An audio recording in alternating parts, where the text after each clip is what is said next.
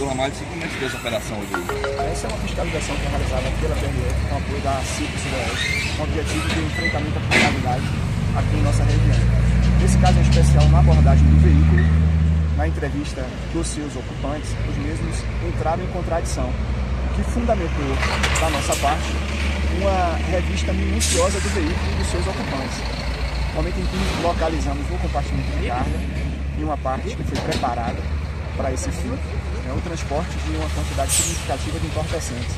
Até o momento a gente conseguiu identificar maconha, pasta base e crack, além também de munição de calibre 357, um calibre, um calibre expressivo, também de 9mm, além de um revólver e uma pistola. O detalhe dessa pistola é que uma pistola que tem inscrita né, no, no seu corpo é a inscrição da polícia argentina, especificamente da província de Buenos Aires.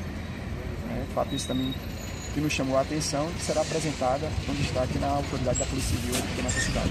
Provavelmente serão agora levados para o DISEP, vão ser presos com a pena disso aí. Isso, eles serão encaminhados ao DISEP para que respondam pelos crimes apresentados, que seriam tráfico de droga, de armas e munição. É, o material foi pego em conjunto com a Polícia Militar? Exatamente, a ação é conjunta, PRF, CIP Sudoeste, Polícia Militar né, e também a Polícia Civil que vai agora para frente conduzir as investigações dessa ocorrência. Então é uma ação da polícia, a Polícia de Vitória da Conquista realiza esse trabalho. E vem de onde para onde isso? Assim, a, a, informação da origem ainda não está confirmada, né? possivelmente um dos estados da federação que faz fronteira com o Paraguai ou com a Argentina, em razão da sua arma que estava sendo transportada seja a Argentina, mas tal fato ainda não foi é, confirmado.